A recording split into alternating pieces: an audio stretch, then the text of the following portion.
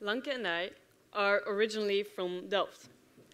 And to get from Delft to here, we had to travel for eight hours. First, we had to go to the train station, be the, in the train for an hour, almost missed our flight actually. Normally, you would have to wait for hours on the airport. Then we had to fly for three hours, which was okay. Then we arrived at the airport in Athens and still had to drive one hour to get to the city center. Eight hours of travel, of which only three were actually effective. This is still quite good if you compare it to 100 years ago. 100 years ago, it would take you around 30 hours to get from Delft to Athens. And 200 years ago, it would not even be possible to get from our city to yours in a somewhat comfortable manner. We live in a world where society is demanding more and more for every individual. I think that the most demanding thing is being connected, and not only digitally, like you can call people, video call, maybe in the future even make use of Hyperloop, uh, of, of holograms, but um, physically, being physically connected is even more important.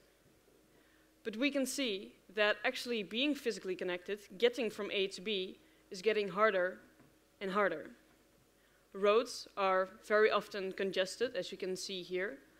Whenever you want to board a plane, you have to wait hours before you can actually get in. And when you travel by train, if, during peak hours, you're lucky if you get a comfortable standing position. This shows that we actually have to do something about the current infrastructure that we're in. Not only about making uh, traffics or making roads wider, but also by coming up with new concepts that could be the future of transportation.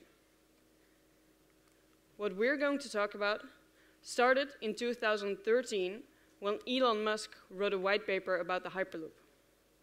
He did some calculating, he did some thinking, and actually really sparked the interest of many people.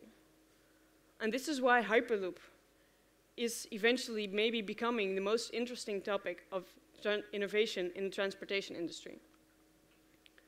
The Hyperloop makes use of pressurized capsules that have passengers or cargo in them and that can travel at extremely high speeds. Our, uh, our Hyperloop can reach speed of up to 1,080 kilometers an hour. It does this by, have, by traveling in vacuum tubes and the vacuum tubes ensure that there's little to no aerodynamic drag. This, in combination with the magnets that it used to levitate, ensure that very little energy is needed to get from A to B. This way, we can go from Amsterdam to Paris in little under 30 minutes. This makes it way faster than the train and the car, but also than the plane, because the tubes are relatively small you can get from city center to city center. If you compare the energy consumption of the Hyperloop to that of a train, a maglev, a car, and an airplane, you can see that it clearly beats the latter three.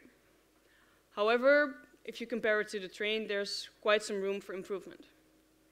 If you look at the cruising speed of the various forms of transportation, you can see that Hyperloop is the clear winner when it comes to efficient passenger transport. So you must be wondering, if there are so many advantages to Hyperloop, why is it not here yet? Well, that is because there are quite some challenges when it comes to developing new technology, especially if this has a huge impact on society. And these challenges, they include, of course, technology, uh, which you are probably familiar with as people, uh, as people with a technical background. And in terms of technical aspects, we need to think of the design of the vehicle, also called the Hyperloop pod, but also things like the tubes and the station, and last but not least, the infrastructure. And all of this we need to think for, for future scenarios. So today, I would like to walk you through all the topics uh, revolving around the Hyperloop Enigma. So let's get on board and start talking about what's probably most relevant for you as the future Hyperloop passenger. What will the Hyperloop passenger pod be like? The vehicle design is extremely important since it is what for a large part determines the safety of the system since it has a direct interface with the passenger. So I would like to present to you the Hyperloop passenger pod. It is 30 meters in length and it seats 50 passengers to accommodate for future passenger demand. And the first thing you probably already noticed is that it has a very aerodynamic look. And then a question may pop up. Why do we design for aerodynamics when Rieneke just told us that Hyperloop operates in a vacuum? That doesn't make sense, right? Well, that is because Hyperloop does not operate in a hard vacuum, but it operates in a soft vacuum, meaning that there's still a little bit of air particles inside the tube. And this air causes drag, aerodynamic drag, which reduces the speed of your vehicle. And for that reason, it is still very important to design for this aerodynamics and to get the most out of your vehicle. A characteristic that is probably more remarkable about our design is the fact that compared to current unidirectional Hyperloop designs, meaning that they have a clear nose and tail and travel in a single direction like an airplane, our design is bidirectional. And the reason we chose for this symmetrical design is because it allows for, first of all, easier vehicle maneuver, but also for a lot of cost savings in terms of station design. So let me put it this way. Imagine if trains could only travel in a single direction. How inconvenient would that be?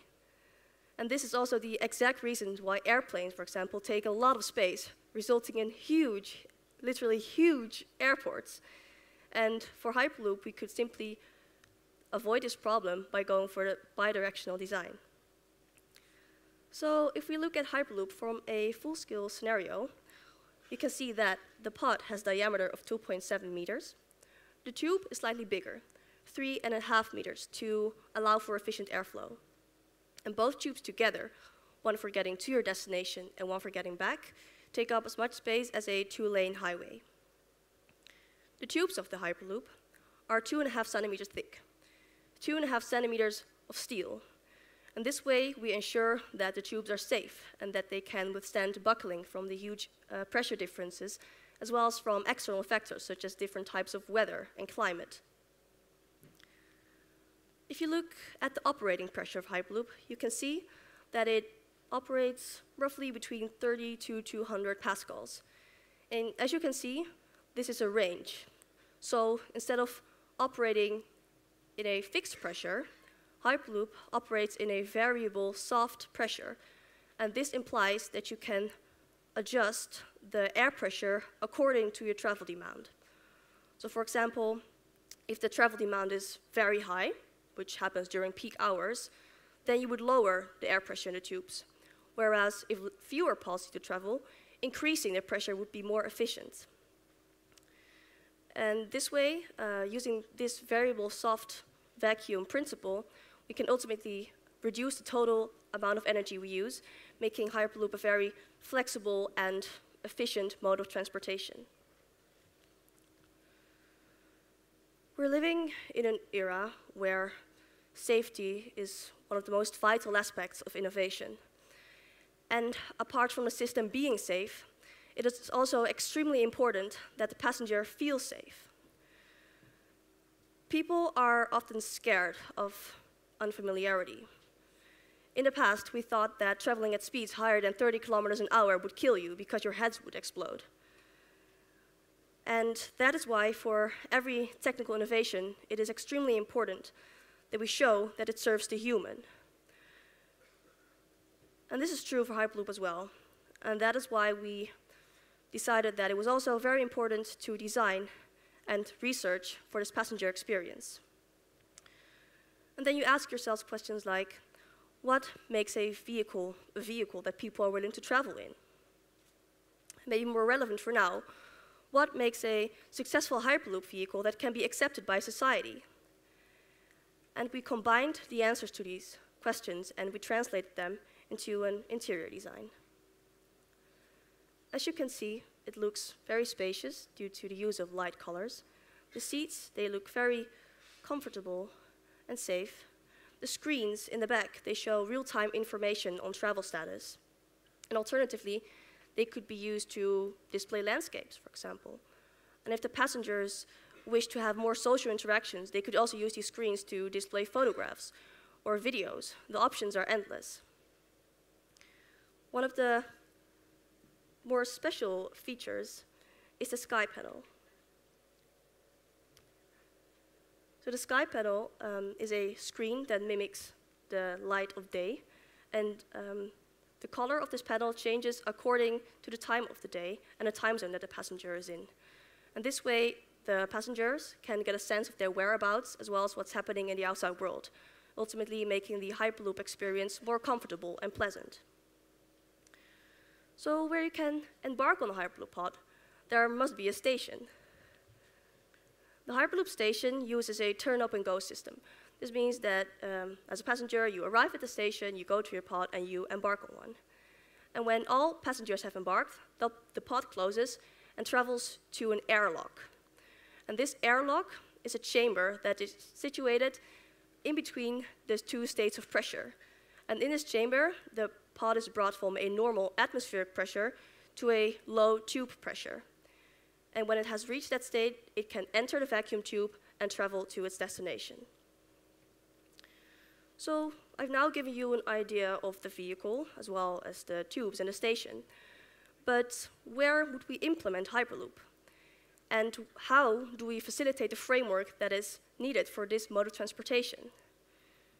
We do that using this network. Yeah. This is the European Hyperloop network. It connects all frequently visited European cities, from capitals to economic hearts to your favorite vacation destination. And with Hyperloop, we could eliminate short to medium haul flights and thereby reduce air pollution. And with this network alone, we could already do so for two-thirds of the air traffic between these cities. This makes Hyperloop very special. And with this network, we could change lives and, make one and take one step into a more sustainable future. As students from a technical university, we are not in the illusion that we can change the entire world by just thinking of a concept like this. However, we do really see that it is necessary to actually think about innovative concepts like the Hyperloop or other forms of transportation.